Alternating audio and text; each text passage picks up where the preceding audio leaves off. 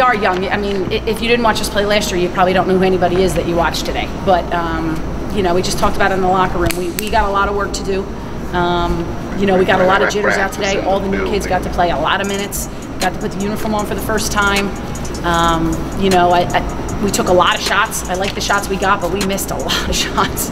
We got to slow ourselves down just a little bit so we can we can end up you know making some of those shots. But defensively, I thought we did a really good job. I thought um, College of New Jersey runs you know a lot of five out stuff, which I thought we defended pretty well. We didn't finish a couple plays, gave them a couple backdoor looks um, and a couple threes there in, in, the third quarter. But overall, I thought our defense, um, particularly from LP, Jaden, and Cami, was terrific. It's going to help us early because our defense is clearly ahead of our offense right now. So um, we're going to need defensive pressure. We're going to need to be able to make plays on defense. We're going to be able to need to score in transition until we can get our offense to catch up a little bit. So it is really important that it's not just Stella making those kind of type of plays, that Jaden can make those plays, you know, that LP can make those plays, that we have kids that can make plays off the ball. I think we're a little deeper than maybe I thought. Um, you know, I, I, think we can play a lot of different lineups. We played big today. We played small.